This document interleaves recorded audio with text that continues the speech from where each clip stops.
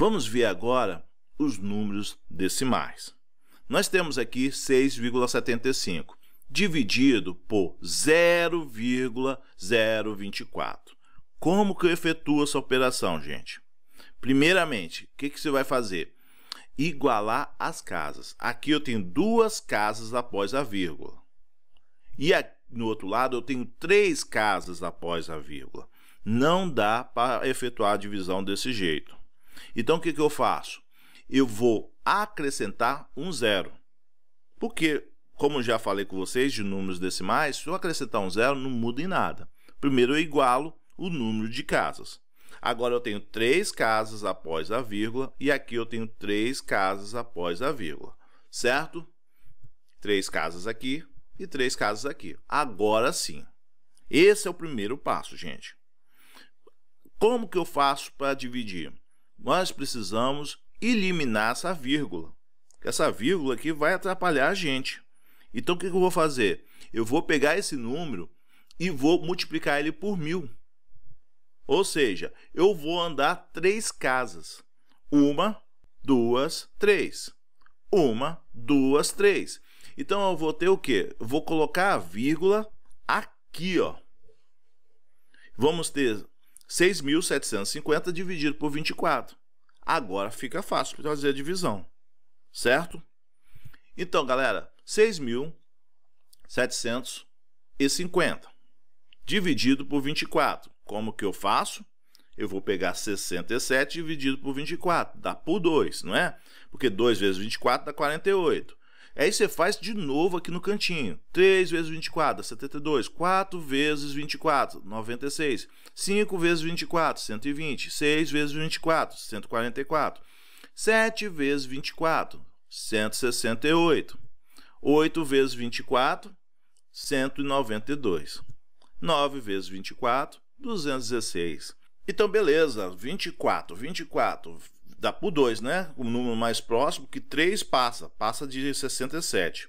Então, vai ficar por 2. 2 vezes 24 dá 48. Para 67, falta 19. Abaixa o 5.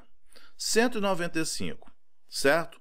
Qual o número que mais se aproxima? Aí você olha aqui no cantinho, nós vemos o 6 não, 7, 92 e o 9 passou, né? Então tem que ser o quê? O 8. 8 vezes 24 dá 192. Para 90, 195, falta quanto, gente? Falta 3. E abaixo o zero. Certo? Então, para 195, falta 3. Abaixei o zero. 30. 30 dividido por 24 dá 1. Para 30 falta quanto, gente? 1 vezes 24, 24. Para 30 falta 6. Acabou? Não. Agora a gente vai colocar a vírgula, certo? 6 ali não dá para dividir. Eu coloco uma vírgula e abaixo um zero. Ficou 60. 60, qual o número mais próximo, gente? Dividido por 24. O número mais próximo é 2. 2 vezes 24, 48, não é? Porque se eu botasse por 3, dá 72, e aí passa.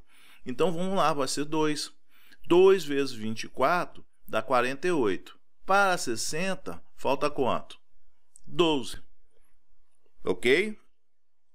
E agora? Baixa-se um zero, coloca um zero aqui, ok? E vamos ver o número mais próximo de 120. O número dá por 5, olha lá. É exato. 5 vezes 24 dá quanto? 120 para 120 não falta o quê? Zero. E a divisão está efetuada. Gente, então, resumindo, primeiramente, o que a gente fez? Igualou as casas, certo? Tinha duas casas aqui e aqui três. Então, acrescentei um zero, ficou três casas para cada lado. Depois, eu andei a vírgula ou multipliquei por mil, tanto faz, gente.